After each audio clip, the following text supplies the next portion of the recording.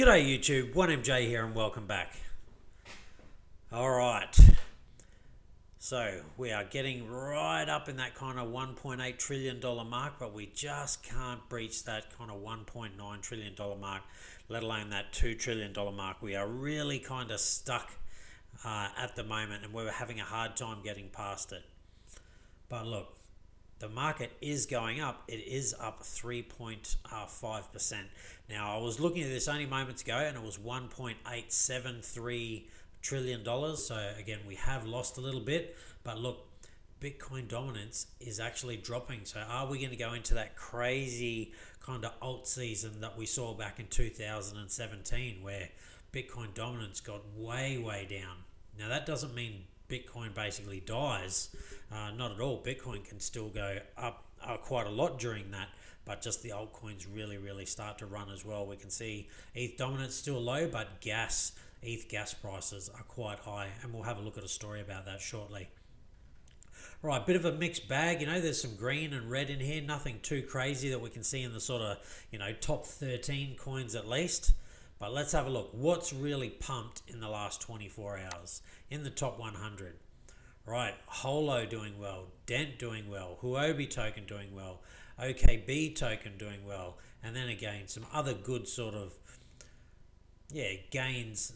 Again, for me, like I said, 15% 24 hours. Anything over that is good. Anything under it is just you know okay and kind of stock standard. So a couple of really good gains, and. Uh, at least you know some pretty good gains. But look at the seven days; that's actually looking quite good. So again, altcoins they really are just you know still sort of running. Some have come down. You know the ones that pumped earlier, they've obviously come back down, and maybe they're going to get ready to do their next leg up. But the ones that weren't pumping before, now they are really starting to pump. All right, what about losses? What's not done so well in 24 hours? Well, Bitmax is down, Harmony, Anchor, Theta, Hedera, Decentraland. Look, we got a few losses here, but nothing too bad. Really, only the Bitmax token one's going to hurt. Harmony one, yeah, that'll hurt a little bit, but look, they're still up 20% in the last seven days anyway. Theta Network, same thing, you know, 5%, that's not too bad, but they're still up nearly 30%. And Anchor, I mean, good lord, they're still up nearly 140% over the last seven days.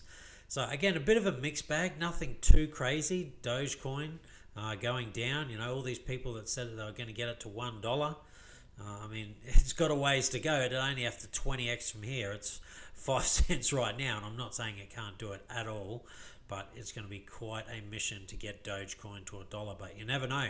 Maybe all the TikTokers and that can do it. Anything's possible. All right, let's move on. Now, Ethereum. This is very, very interesting. So, this is the Ethereum versus Bitcoin chart. So, again, December 2017, uh, in uh, the 10th, it got quite low, but then rocketed all the way up to its all time high, uh, 30th of January 2018. So, again, the kind of peak of the altcoin season. And then it's just been making its way down and it's really kind of found a base here. Now, this has been both uh, resistance and support, but it's been more support than resistance. So, support, support, a uh, bit of support there, support, support, support, support, and then it dipped under this. Support again, almost support there, close enough, support, resistance, support, support, and here we are again. So this is where we are right now. We are coming back down onto a Satoshi level where Ethereum really has been there a lot. And what we're waiting to see is if this is again, this is that big accumulation phase against Bitcoin, hasn't been outperforming it. And now, are we going to rock it up and see something like this again? I tell you, it'd be good, it'd be nice. I'm just not sure Ethereum can do it with their gas fees, gas fee issues at the moment. That that's my personal belief. That's not to say Ethereum can't do well. I think it can do well. I just don't think we'll see something like this without uh, 2.0, you know, second layer solutions and all the rest of it. I don't see Ethereum getting anywhere near there. Look, I'd love to be wrong because I have a reasonable position in Ethereum, but I really do think that's the biggest thing holding Ethereum back. So hopefully all this, you know, EPI, EIP, you know, 1559 and layer twos, optimistic roll ups and all of that can come sooner rather than later. But it is interesting that it seems to be finding some support uh, on this Satoshi level. So what is it? 3,131,919 Satoshi level. So not dollars, that's Satoshis. Let's have a look at Ethereum versus the dollar so we can see. It Was in a bit of a wedge here, broke out to the upside, came back down, retested uh, some old levels, broke up, broke back down, and then look what it's doing. It looks like it's on its way up and starting to retest uh, some old levels, starting to hopefully use it as support. Again, because we're talking about Ethereum and the issues that it's just having with gas, and that's a scaling issue for it at the moment, I don't think it's going to set any crazy prices anytime soon. Now that I've said it, it's probably going to do that. It'll go to three and a half thousand dollars in the next four days, but I just think it's really, it's kind of at a peak for now without any good news about scaling, you know, optimistic roll ups, layer 2 solutions and all that. I just I'm not sure Ethereum can go any higher, particularly because when the new money comes in, which again, you know, it's called the dumb money, but they're going to come in, they're going to try it and the fees are going to be so much they're just going to want to get out of it straight away. They're going to go, "No, I can't even use this." And that's why I think Ethereum's just going to be stuck. I think the institutional money will continue to chew it up because they know that once it comes, it'll be worth uh, a whole lot more. That's my personal belief, and that's why I hold my Ethereum. I could easily sell it all and get into something else, but I think they will eventually scale, and when that happens, then you're going to see the price skyrocket. I'm just not sure when that's going to happen that's the real kicker at the moment. You know, Optimistics has been pushed back. These layer two solutions, you know, they're still working things out. You know, interoperability and all the rest of it. There's so many things going on.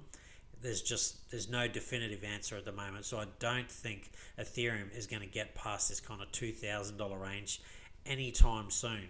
But I am more than happy to be proven wrong. And if I am proven wrong, I'll be ecstatic because it means my Ethereum's gone up. Right, Bitcoin, let's have a look. Very, very interesting. So, confirmed breakout. Nice. It almost pulled back to under. And again, this this candle here, it's a very sort of new candle still. So this is a second candle, but this is a confirmed breakout. But it still could be a confirmed breakout and then roll over before we see something like this. So we'll just have to wait and see.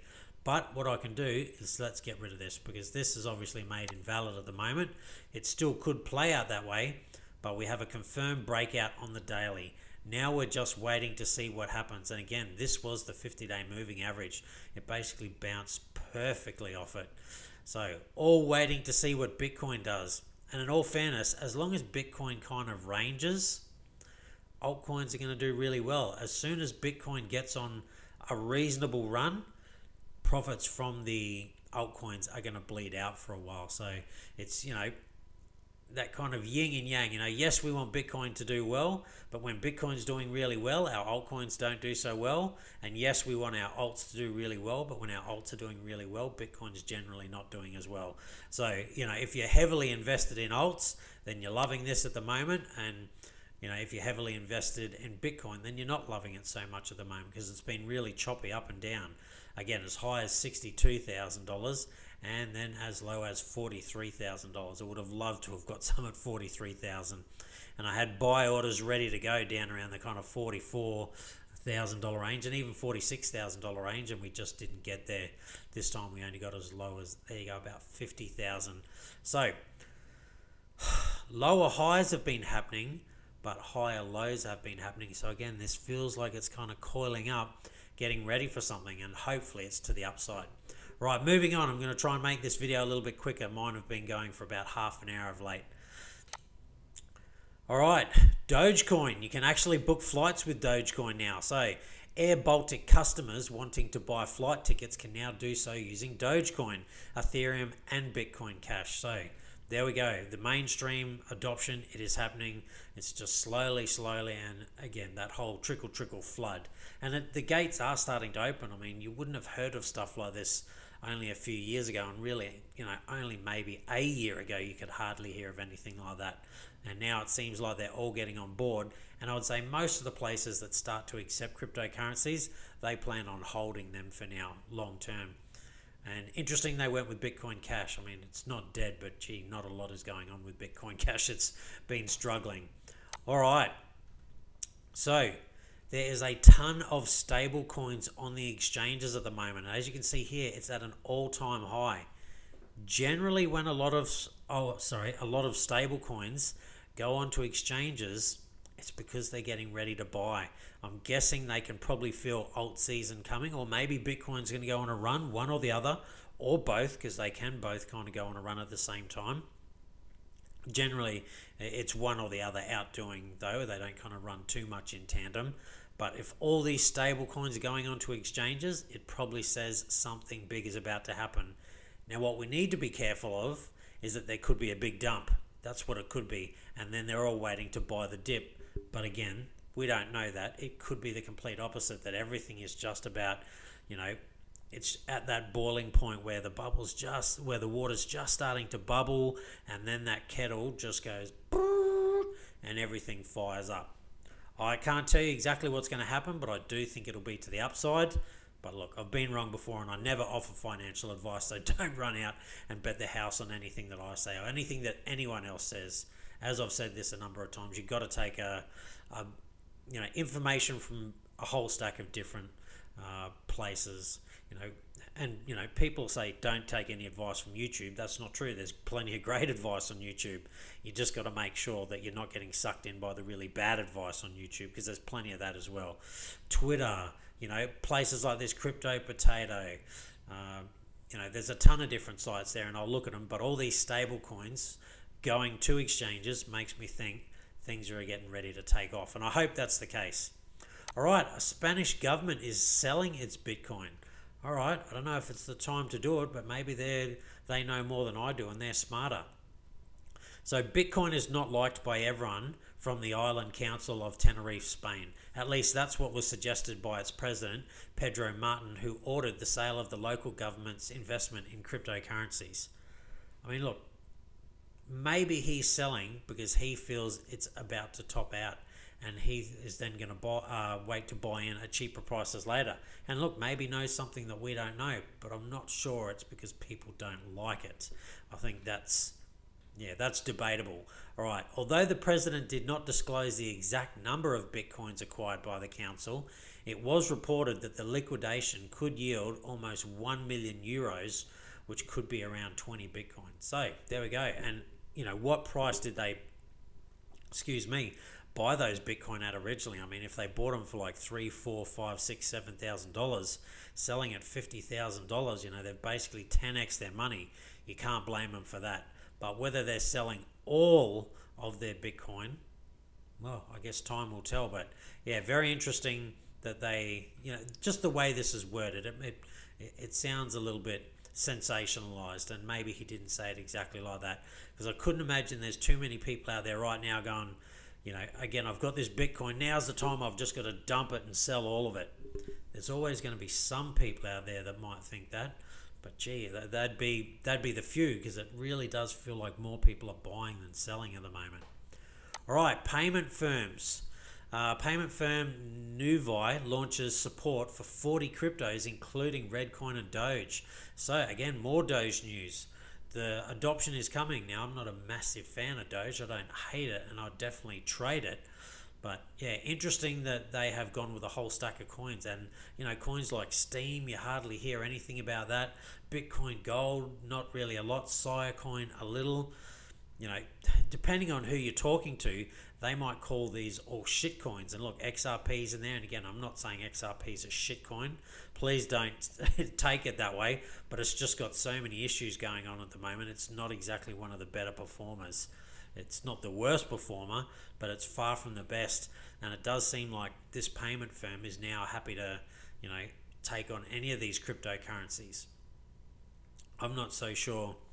Uh, I would want to do that if I was running a payments firm. You know, I'd stick to the bigger ones, but again, some of these smaller ones, Bitcoin, Gold, not so sure, Steem, uh, haven't heard much of that in quite some time. Reddcoin, I mean, is that even still alive? You know, please, if there's any Reddcoin holders out there, don't uh, kill and hate me. There probably could be a lot of stuff going on, but I just haven't heard much. The hype, anyway, is what I'm going to say. It's just not there.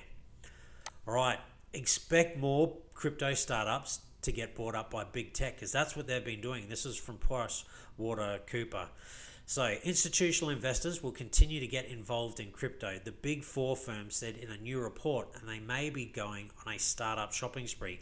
That is what they do. They get up, they get in and buy the startups, uh, and then it's just basically theirs, and they make a, a fortune.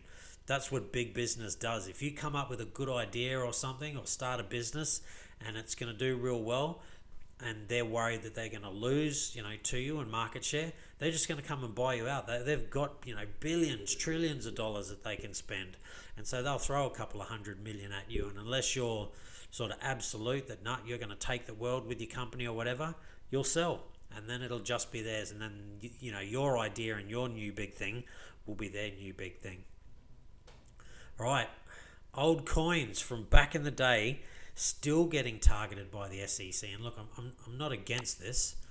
The Securities and Exchange Commission, or the SEC, has charged crypto firm LBRY, or LBRY, with selling unregistered securities.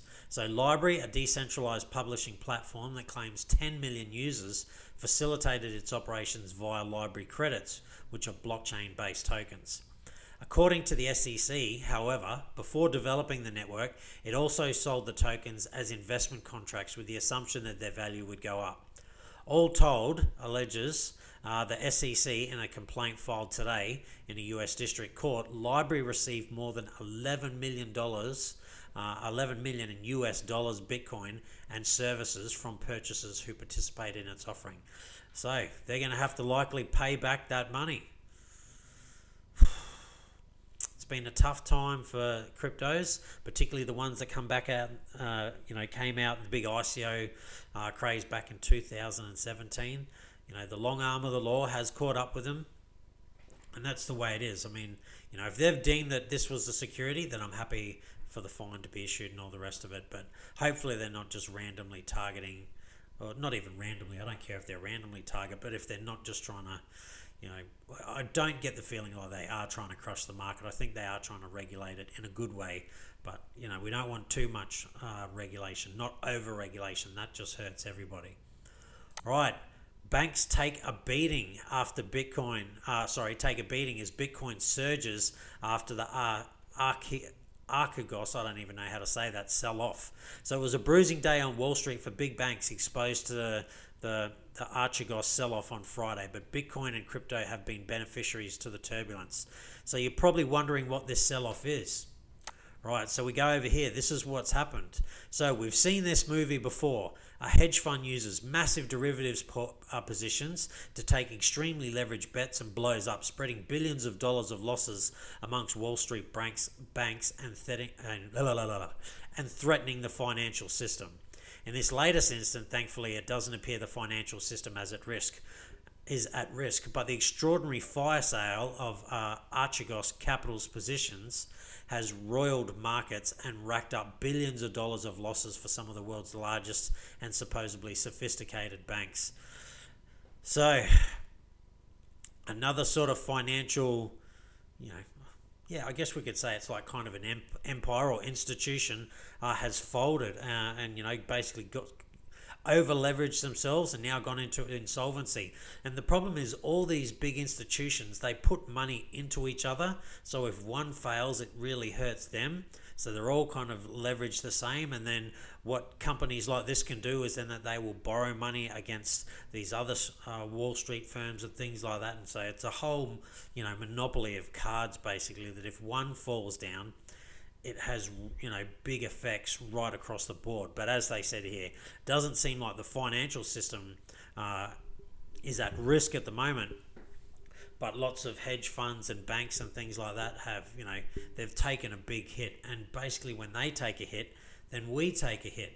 So we go back over to here and we see crypto markets gain strongly with global market cap approaching 2 trillion. We're not quite there yet. Ethereum was buoyed, excuse me, by News Visa is now experimenting with USDC as a settlement option. Oh god, excuse me. While Wall Street continues to be rocked by the sell-off. And look, it has somewhat affected us though, like because we haven't exactly skyrocketed to you know new all-time highs, and a lot of these places are already in Bitcoin, you know, off to the side uh, in other smaller companies, so not so much them. And when they get losses, the first thing they do is sell off the most liquid thing, and that's uh, cryptocurrencies. And we've had, you know, some kind of downside. Now, whether that has anything to do with this or not, I don't know. And whether uh, this will lead towards us having a further sell off, I guess that's what we're going to have to sort of wait and see because this news only just came out today. Right, last but not least, Cosmos. So, the long awaited vision of the Cosmos blockchain has now been realized as the holders of the Atom token have voted through Inter Blockchain Communications or IBC enabling assets to transfer easily between blockchains. So interoperability, that is going to be you know the next big thing. The final vote to enable the feature, and how funny is this, was 112 million to 75. Now I don't know if that's 75 million. I, I doubt it would be. It sounds like 75 people though voted against it. Well, yeah, it's got me stumped why you would do that. So, an overwhelmingly in support of activation maybe that's what it is. They just voted against it because they didn't want to activate it just yet. They wanted more time to uh, test it and all the rest of it. That would make a little bit of sense. So, in the simplest terms, IBC enables messages to travel between blockchains that have implemented the standard. The most obvious uh, use case in crypto is sending messages to transfer tokens off one chain and onto the other. So, it's interoperability that is holding you know a lot of stuff back at the moment because there's so many different chains if it was just one then you wouldn't need to worry about interoperability but it's never going to be like that so the first you know chain that can really get that on interoperability going uh, and with ease they're probably going to do really well and it sounds like atom is doing all right in the space at the moment and look their price hasn't been too crazy again i got in uh, sold half because it wasn't performing that well i still sold it for a profit so that was all right. And the other half that I've been holding is just doing okay. Maybe this is the thing that's going to spark the price. All right, well, that's it from me. Stay safe, be kind to one another. Hopefully, you're on that gain train. Things are looking on the up at the moment, and I'll see you next time.